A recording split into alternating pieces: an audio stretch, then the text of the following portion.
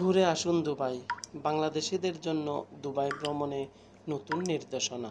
দুবাইতে যেতে হলে বাংলাদেশ, ভারত, পাকিস্তান, আফগানিস্তান এবং নেপালের যাত্রীদের দুবাই আন্তর্জাতিক বিমানবন্দর আর আল মাকতুম ইন্টারন্যাশনাল এয়ারপোর্টে ফিরতি টিকিট নিশ্চিত করে দুবাই প্রবেশ করতে হবে।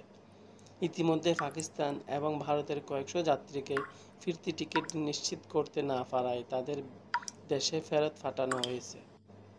তাদের ফেরত পাঠানোর ব্যয় বহন করতে হবে এয়ারলাইন্সগুলোকেই।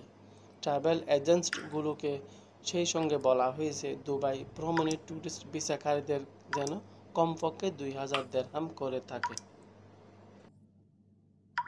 আমাদের চ্যানেলে নতুন নতুন ভিডিও পেতে এখনও সাবস্ক্রাইব করুন এবং সবার আগে আমাদের ভিডিওগুলো দেখতে পাশের বেল আইকনটি ক্লিক করুন।